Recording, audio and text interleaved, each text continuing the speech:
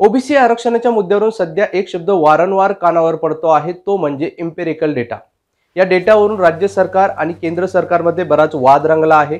राज्य सरकारच्या मागणीप्रमाणे केंद्र सरकारला डेटा देण्याचे निर्देश देता येणार नाहीत असा निकाल नुकताच सर्वोच्च न्यायालयाने दिला आहे. राज्यात एकवीस डिसेंबर रोजी होणाऱ्या निवडणुका सुद्धा ओबीसी आरक्षणाविनाच होणार आहेत.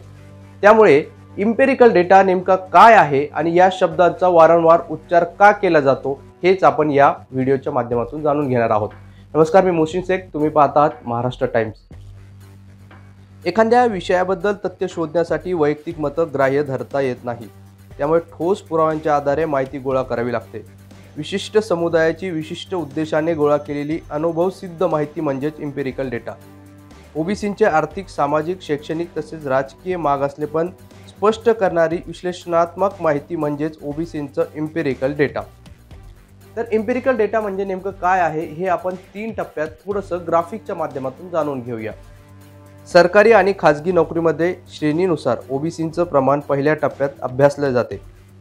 प्राथमिक आणि उच्च शिक्षणात ओबीसींचे प्रमाण किती आहे अशिक्षित लोक किती आहेत याचं सर्वेक्षण केलं जाईल. शहरी आणि ग्रामीण भागात किती ओबीसी राहतात त्यांचे राहणीमान कसे आहे मध्यवर्गीय किती आहेत आदी माहिती तपासली जाईल.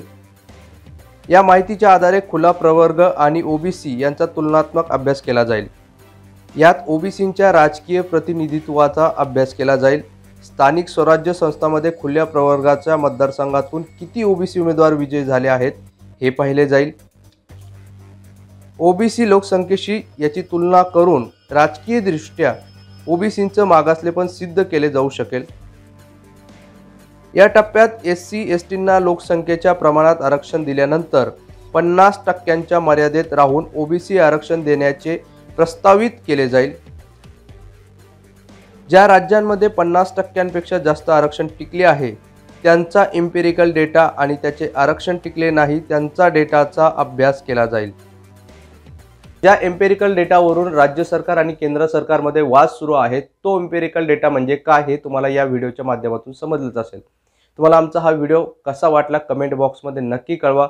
आणि व्हिडिओ आवडला असेल तर शेअर करायला मात्र विसरू नका. धन्यवाद.